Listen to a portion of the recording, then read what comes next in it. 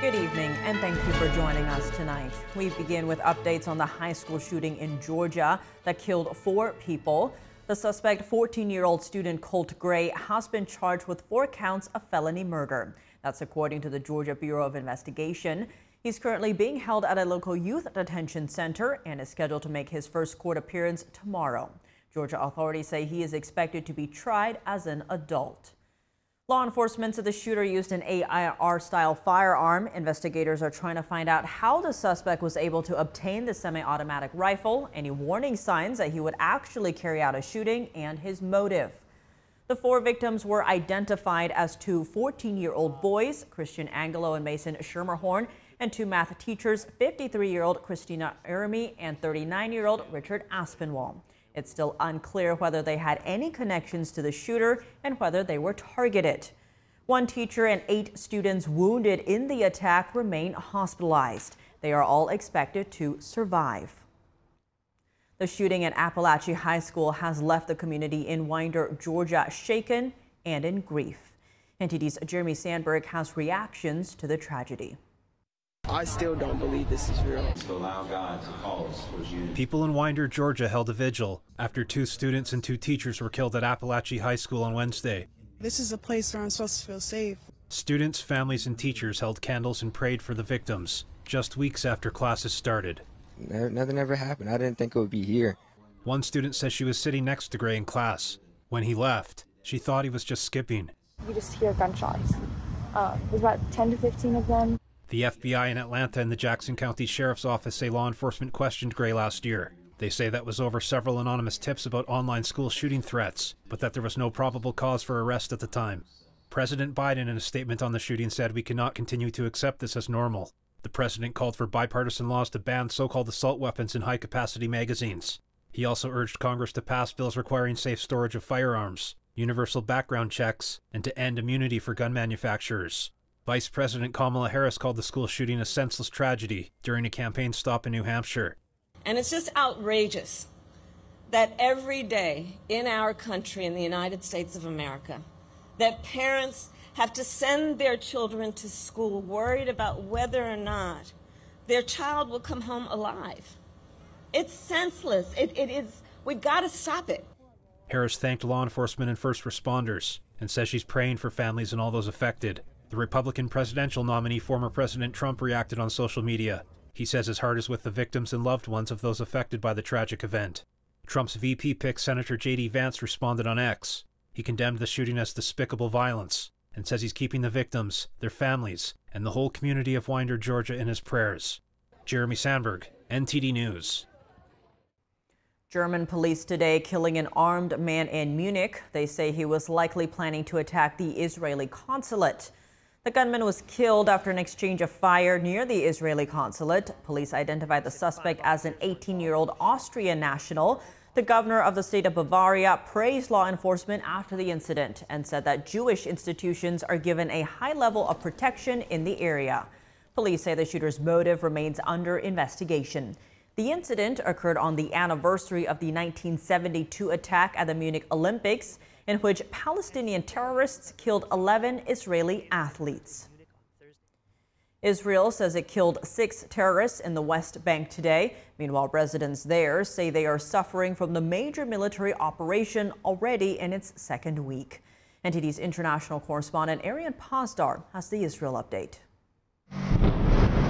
Fighting in the Middle East continues. Israel's military says it killed six terrorists in the West Bank on Thursday. That's part of a major West Bank operation, which is in its second week now. Residents of a refugee camp woke up to damaged buildings and bulldozed streets. 78 years, I have never witnessed anything like this. From 1948 to 67. Nothing was like this. They used to shoot, and all but the bulldozers are new, and the damage is massive. The Israeli military says it's tearing up the streets because troops are looking for roadside bombs. Meanwhile, in Gaza, a polio vaccination campaign entered its second stage on Thursday. It's the first day children can receive the vaccine in the city of Khan Yunis. Just as you provided us with vaccination so that our children would be safe, you must provide us with a ceasefire and a stop to this war. The Pentagon on Thursday said it's working on a peacekeeping mission in Gaza when asked if the U.S. plans to have boots on the ground after the conflict ends. The ceasefire deal, uh, that's something that the United States is working very closely on um, with our partners and allies in the region. That would include some type of, you know, uh, peacekeeping force, but I don't anticipate that that would include U.S. military boots on the ground. Congressman Mike Lawler blamed Hamas for the conflict dragging on. Very simple. Hamas must surrender and release the hostages. Uh, their refusal to do so, uh, and clear, it is Hamas that is refusing to enter the terms of a ceasefire. And they have violated eight ceasefires over the last 16 years. But protesters in Israel continue to blame their government. Demonstrators took to the streets again on Thursday, demanding a ceasefire deal. And this day is dedicated to all the people that were murdered in Gaza. We all know that they were alive there, and now they're not. They came back in coffins. 21 people that already came back dead from Gaza, and you know we still have people there. The death of six hostages last week started a wave of protests. Half a million people took to the streets on Sunday. Protests have continued every day since. Arian Pazdar, NTD News. President Biden is in southwest Wisconsin today announcing multi billion dollar investments in electricity for rural areas. NTD's Washington correspondent Jack Bradley has more from the White House. President Joe Biden is announcing $7.3 billion in new infrastructure investments while in Westby, Wisconsin on Thursday. Now, the money is going to 16 different corporations that's going to be spread across 23 different states. They'll be used to purchase projects, including renewable energy sources like wind, solar, and nuclear. Now, the goal of it all is to make internet cheaper in hard to reach areas. It's the most significant transformative investment in electricity and electrification and clean energy for rural America since FDR's New Deal. You're the backbone of this country.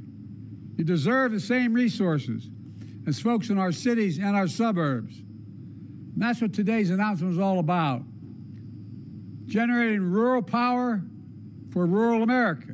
Now, the funding comes from the Inflation Reduction Act, which was championed by congressional Democrats back in August 2022, but very much opposed by Republicans. But why is Biden doing this now? Well, the White House says that this is part of his Investing in America series, where he's uh, touting his successes in his Biden administration for investing in infrastructure projects like uh, replacing corroded lead pipes, as well as uh, building offshore wind farms. Now, this is Biden's first visit to Wisconsin since he dropped out of the presidential race and endorsed Kamala Harris. The election hinges on swing states like Wisconsin. Biden won the state back in 2020 by about 20,000 votes, and former President Trump won the state back in 2016 by a very slim margin there. Reporting from the White House, Jack Bradley, NTD News. Turning now to the presidential debate, it's been decided that the candidates' microphones will be muted after all. Host network ABC says the rules have been set for the first debate between Vice President Harris and former President Trump. NTD's Jason Blair has an update.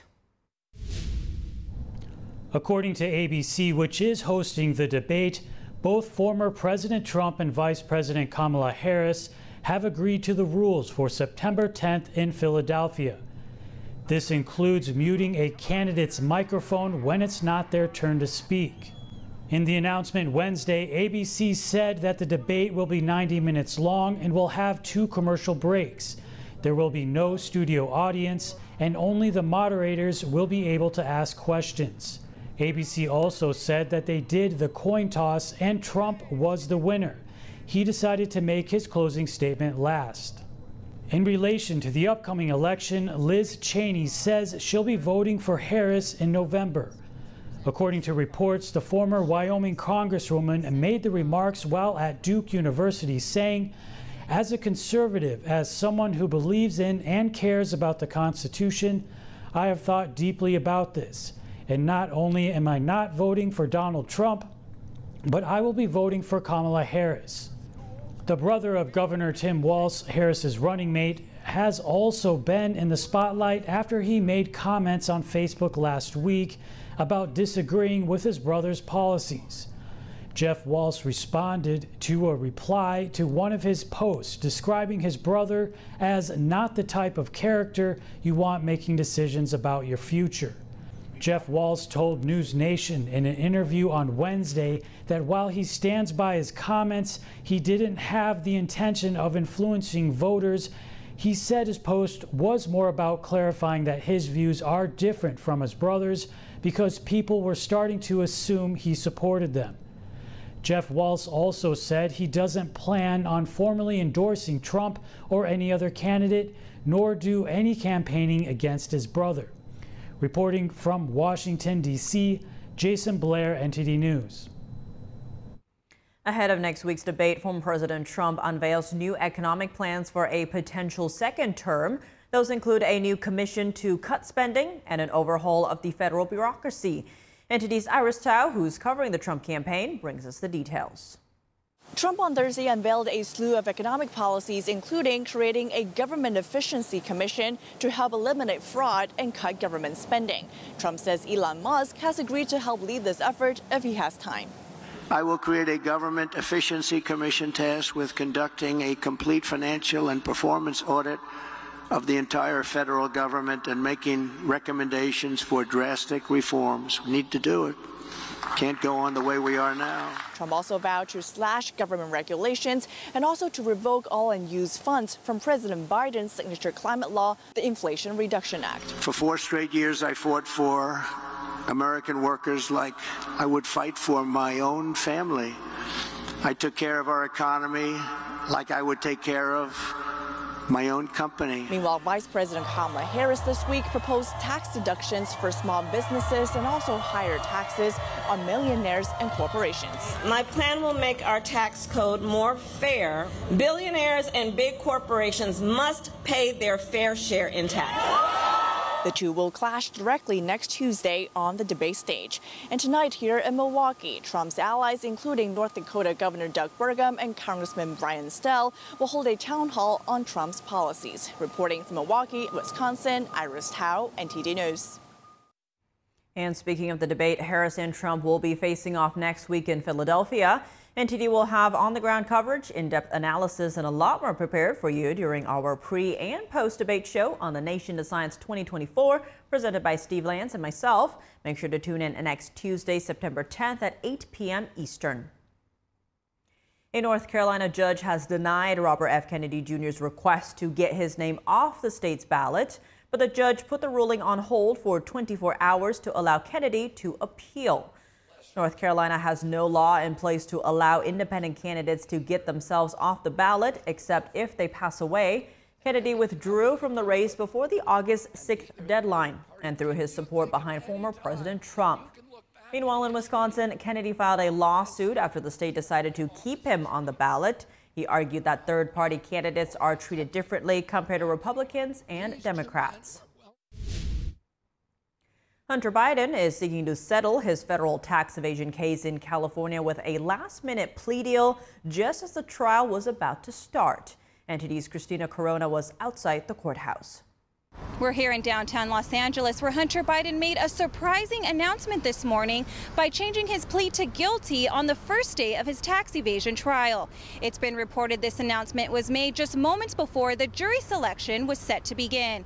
Now this is known as the Alford's plea where Biden will maintain his innocence while still accepting the guilty verdict. As we know, Biden failed to pay $1.4 million in taxes from 2016 to 2019 to fund this extravagant lifestyle which included drugs, prostitutes, luxury hotels and rental properties, and luxury cars. Now, these are nine different charges, three felony charges, and six misdemeanors, which include tax evasion, failing to file and pay taxes, and filed a fraudulent tax report. However, prosecutors oppose the Alford plea, calling it an injustice and against the rule of law. Hunter Biden then pleaded guilty to all charges, now avoiding trial. Sentencing is set for December 16th. Reporting from downtown Los Angeles, Christina Corona, NTD News. Turning now to former President Trump's legal cases, a federal judge just held the first hearing in Trump's federal election case since the Supreme Court ruling on presidential immunity. Judge Tanya Chutkan, who is overseeing the case at the court hearing, aimed to address two main questions how to resolve the immunity issue and what the rest of the schedule will look like. Prosecutors and defense lawyers clashed in court over the next steps. Trump was not present. He pleaded not guilty to a superseding indictment filed by special counsel Jack Smith. The hearing concluded without setting a trial date. The judge set a deadline of September 26th for prosecutors to submit their opening brief on immunity. It's expected to cover descriptions of evidence for the indictment. Welcome back. I'm Tiffany Meyer. A proposed 28% capital gains tax now making headlines as Vice President Kamala Harris outlines her policies for the next four years. With the election now in the home stretch, who has a better economic plan for the country? NTD's Sam Wong was out at the National Mall to hear from voters. So Trump versus Harris, who do you think has a better economic plan? I, would go with Trump. Maybe actually Harris. Uh, with Biden's infrastructure bill that he, you know, put through, and Harris's support of that, I, I would think that the uh, Harris camp. Trump. You go back four years ago, and how great everything was. I did much better under Trump four years ago or three and a half years ago, so I'm, I'm leaning more that way. But right now, my 401k looks fabulous. They're both for Social Security freezes, which I'm on a fixed income now other than 401ks, of course. So right now, I'd have to say I'd go with Harris. So I want to kind of shift our focus to the uh, the 28% capital uh, capital gain tax that Harris recently proposed. Uh, what do you make of that policy? That's the way she's collecting the money to give it away. I enjoy paying the 28% versus 36. It might cause uh, at least uh, those like billionaires not to uh, be able to hoard their assets so much because they usually just take out loans against it we're given opportunity to grow wealth amongst ourselves. And if we get to that point, then we need to share the, the benefits that we have gained out of growing that wealth. So, where do you think the, the threshold is? Uh, you know, any any day anymore, a million dollars doesn't seem to be very high. Um, so I don't, I, you know, I'm not sure what the threshold would be. We've got money saved, and when I pull that out, the capital gains, I don't like that to be taxed. I've saved that money after I, ta- I was taxed, and then I get taxed when I pull it out. If people are making that kind of money, they're buying the big ticket items that keep people working. You're getting a break to start a business. You're taking that risk in, a, in, in an adventure why get penalized if your business is a success? I don't I don't agree with that. With just 60 days remaining until the November election, Republicans and Democrats in Georgia fight for fair and free elections.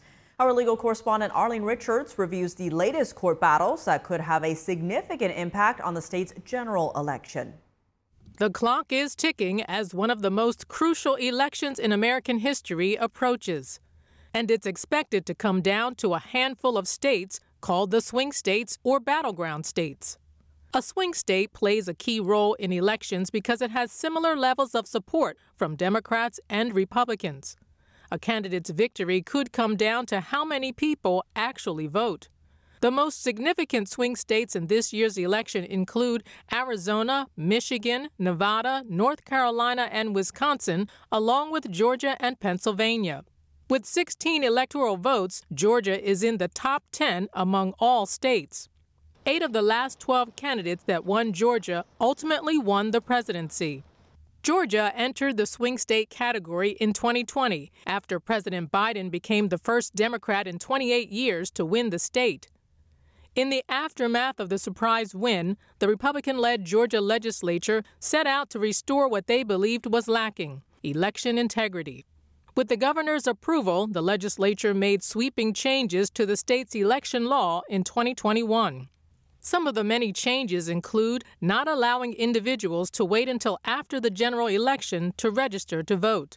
Individuals who fail to register in time won't be able to vote in a runoff election. There's also a new photo ID requirement for voting absentee by mail. Supporters of the law say it's needed to restore confidence in Georgia's elections. Those opposed say it will restrict voting access, especially for voters of color. The law set off a litany of lawsuits by liberal and civil rights advocacy groups who want to block the law from ever taking effect. So far, the Trump appointed judge has granted one request for an injunction. That decision blocks a provision that would have rejected mail in ballots for failing to include a birth date. Georgia officials appealed. With Election Day fast approaching, both sides are trying to get a final ruling on elements of the case without a trial. Meanwhile, Republican lawmakers are continuing to update the election law. In March, Georgia lawmakers approved new rules for challenging voter eligibility. The bill, signed into law by Governor Brian Kemp, could lead to voters being removed from the rolls. For example, if someone is registered at a non residential address. And the Republican led state election board last month pushed through proposed election rules that have sparked fierce debates. The new rules give county officials greater authority to refuse to certify voter tallies.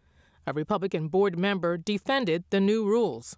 I'm not fixing a problem that does not exist. Um, actually, we're preventing problems from happening in the future. Democrats recently filed a lawsuit against the board to block the new rules, arguing that they will cause post election chaos. In Fulton County, the largest and arguably the most controversial county in Georgia, two county citizens are suing members of the Fulton County Department of Registrations and Elections, or FCDRE. They claim the county doesn't maintain accurate voter rolls.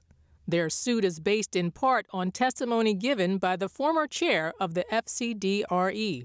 Fulton County never does an independent search for anybody dead people, felons, people who live out of state. Former President Trump was indicted a year ago by Fulton County District Attorney Fani Willis. She alleges that he attempted to overturn the county's 2020 election results. An appeals court postponed that case until after this year's presidential election. Defendants had appealed the lower court's decision to not disqualify Willis. Arlene Richards, NTD News. The Justice Department says U.S. adversaries are ramping up their efforts to influence American politics and disrupt IT infrastructure. DOJ investigations point to Russia, China, and North Korea as the main actors with the most sophisticated schemes. NTD's Washington correspondent Luis Martinez has more.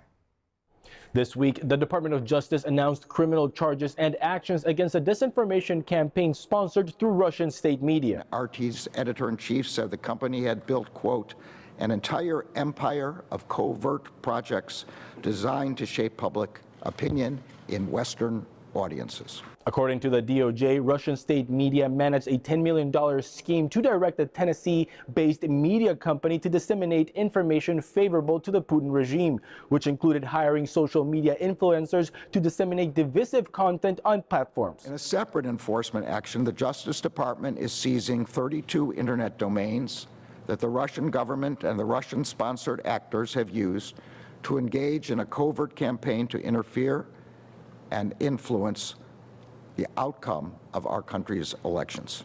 According to court filings, Russian President Vladimir Putin's inner circle directly managed the disinformation campaign to influence U.S. elections. We have no tolerance for attempts by authoritarian regimes to exploit our, our democratic system of government. We will be relentlessly aggressive in countering and disrupting attempts by Russia and Iran as well as China or any other foreign malign actor to interfere in our elections and undermine our democracy. Earlier this week, a former aide to two New York governors was charged with being a foreign agent working for the Chinese Communist Party. Linda Sun, a former deputy chief of staff of Governor Kathy Hochul, and her husband, Chris Hu, have been accused of 10 crimes, including money laundering conspiracy and alien smuggling. And in July, the DOJ indicted North Korean nationals, charging them with using ransomware attacks to hold hospitals and healthcare providers in the U.S. hostages. According to the social media analytics firm Graphika, the CCP-sponsored group Spamouflage has ramped up its dissemination of divisive content targeting conservative audiences. Reporting from Washington, D.C., Luis Eduardo Martinez, NTD News. And joining me now to discuss this case is Zach Smith, former federal prosecutor and senior legal fellow at the Heritage Foundation. Zach, thank you so much for joining us. Good to see you again. Now, today's court hearing was the first in this case in nearly a year. Where does the case currently stand? How's the immunity ruling changed it? Well, thank you for having me on. And this is the first chance we've gotten to see all of the attorneys in the courtroom, as you mentioned, since the Supreme Court handed down its decision about presidential immunity and deciding whether or not certain actions that Donald Trump took were, in fact, immune from prosecution. And as anticipated, those immunity issues were front and center at today's hearing. A lot of the dispute resolves around the interactions that Donald Trump had with Vice President Mike Pence, whether or not he enjoys immunity for those interactions or whether Jack Smith can use those interactions as a factual predicate for some of the charges he has brought. I suspect that's what a lot of the briefing that Judge Chutkan ordered will address. Jack Smith has until the end of September, September 26th, to file his opening brief. Donald Trump's lawyers will have time shortly after that to respond. But I think what everyone recognized in the courtroom today is that there's no point in setting a trial date right now. There's still too many preliminary issues that Judge Chutkan needs to resolve.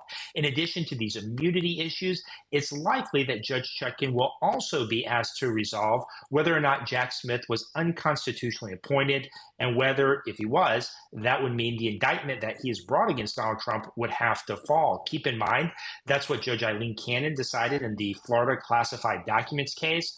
Although, based on her comments from the bench today, Judge Chutkan said she didn't find that decision particularly persuasive and seems like she would likely uh, rule in a different manner than Judge Aileen Cannon did on that very important issue. And one point that did came up today was timing. Trump's team asking to postpone the case till after the election. The judge saying that's irrelevant. Now, no trial date has been set yet, but what do you make of the election issue? Should the timing of things play into this? Well, look, I think you certainly cannot deny uh, that an election is less than two months away uh, at this point. Uh, that certainly Jack Smith has been pushing as hard as he can to keep these cases moving. He's previously said he will continue pursuing these cases even after the election, even if Donald Trump wins up through Inauguration Day.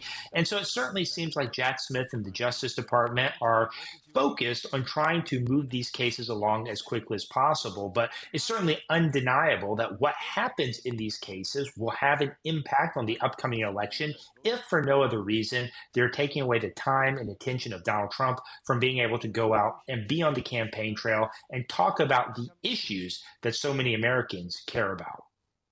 And as you mentioned earlier, Judge Chutkan today allowed prosecutors to file court documents later this month to defend Special Prosecutor Jack Smith's revised indictment. Now, it's meant to include some fresh details, including never before seen evidence, such as grand jury transcripts. What does this mean for the case?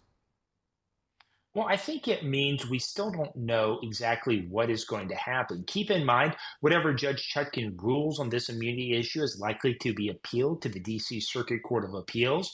On many of these issues that have come up in this case, uh, the case law, the precedent in the D.C. Circuit is not as favorable to Donald Trump as it has been in the 11th Circuit or other courts where these issues have been addressed. And so it's very possible we may see the U.S. Supreme Court being asked to take up some of these same very important issues again in the not so distant future. Uh, but again, there's a lot of legal wrangling that still has to take place, a lot of very important issues that Judge Chutkan still has to resolve before we get anywhere close uh, to a jury hearing these charges against Donald Trump.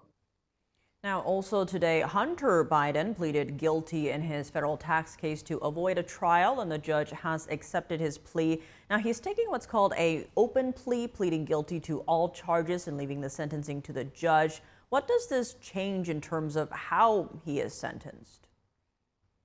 Yeah, this was a somewhat surprising move. Hunter Biden pled guilty as a jury was coming to the courthouse. A panel was coming to the courthouse so that they could select a jury for this case. Now, it's unusual for criminal defendants in federal court to enter into these open pleas where essentially they don't have a prearranged deal with the government uh, to plead guilty to certain charges in exchange for the dismissal of others or to plead guilty in exchange for a more lenient sentencing recommendation.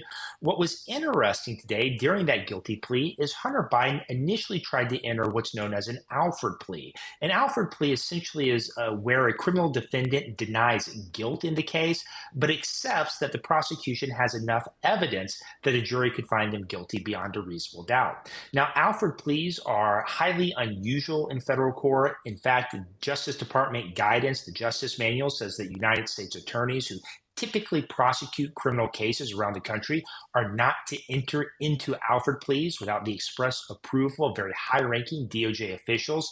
And so the DOJ lawyer, the special counsel, the lawyer on the case actually stood up and objected to that Alford plea, which is what resulted in Hunter Biden pleading straight up uh, to the charges. Uh, so we'll have to wait and see what happens. The sentencing in this case is set to take place on December 16th.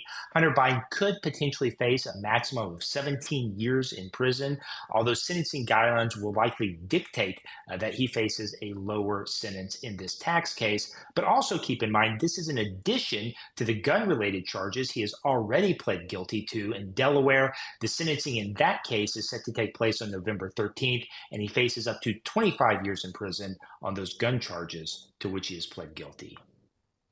And as you mentioned, the sentencing in this case is set for December 16th, which is after the election. What do you make of the timing of that? Well, the timing certainly is interesting. It'll be very interesting to watch and see what President Joe Biden does, uh, not only before the election, but after the election as well. He, in the past, he has said he does not intend to pardon Hunter Biden for any of the federal charges that have been brought against him. He recently reiterated that commitment not to pardon his son Hunter. And so I think many people will be watching very closely to see whether or not uh, President Biden stays true to his word or whether he has a change of heart now that Hunter has pled guilty in both of these cases. Zach Smith, former federal prosecutor and senior legal fellow at the Heritage Foundation, thank you so much for joining us. Of course. Thank you for having me on. Welcome back. I'm Tiffany Meyer. Now for your sports news, we're joined by NTD's Dave Martin. Dave, tonight is the beginning of the NFL season, and we start off where we left off yesterday with the Super Bowl champion Kansas City Chiefs in action. Now, this time facing a tough Baltimore Ravens squad. Yeah, and for Baltimore, they're also starting where they ended last season with a playoff loss to the Chiefs. I'm sure they haven't forgotten that. But the game was typical of how the Chiefs won last year, a dominating defense that really contained MVP Lamar Jackson. Mainly, meanwhile, they got just enough offense with Patrick Mahomes really trying to get as much out of that underwhelming group of wide receivers as he could. Now, they've almost completely overhauled their receiver room in this offseason, though. They signed Marquise Brown, they drafted Xavier Worthy in the first round, and meanwhile, last year's top receiver, Rashee Rice, he might avoid league punishment, at least for now, after his legal problems in the offseason. But on paper, there's a very good chance that their receiver group is much improved uh, from last year. But as I said yesterday, I'm not betting on anyone winning a third straight Super Bowl. While moving to soccer news, American great Alex Morgan announced her retirement on social media today. Now, naturally, her place in women's soccer history is certainly secure, but was this expected? You know, at the beginning of the year, maybe not, though she is 35, but when she was off, left off the women's Olympic soccer team this summer, that could have been a sign. Now, she said today, though, that early in the year, she knew this would be her last season. In any case, she'll leave the game, you know, a two-time World Cup champion and Olympic gold medalist. She ranks fifth in U.S. national team history with 123 goals store, scored. I mean, she's one of the best. Now, she also announced that she's pregnant with her second child, so of course, congratulations to her and her husband. Now, currently, she plays for the San Diego Wave uh, FC, and her final game, she said, will be this Sunday. Looking at college sports, Big 12 Commissioner Brett Yormark said meetings with UConn reportedly about potentially joining the conference have been paused. Now, did he give a reason why or maybe when they would resume? Well, he said they jointly decided to focus on the school year, and there is a lot going on. I mean, the league added four new schools this year. They lost their big two of Oklahoma and Texas. Then this is a year after adding four more schools. And per an ESPN report, the talks stalled because of all these recent changes. And there's even more going on right now. There's an ongoing lawsuit from former athletes against the NCAA and the Power Five conferences that could be settled soon. And this settlement could have schools essentially paying athletes themselves for the name, image, and likeness. That would definitely change how college athletics operates. Now, in any case, it would be kind of an unusual fit for UConn. You know, geographically wise, most of the Big 12 is in the Midwest. Plus, the Huskies football program would certainly have an uphill battle facing that competition. But their men's and women's basketball programs are top notch. Plus, of course, they would bring the very coveted New York City audience, so there's plenty of value there.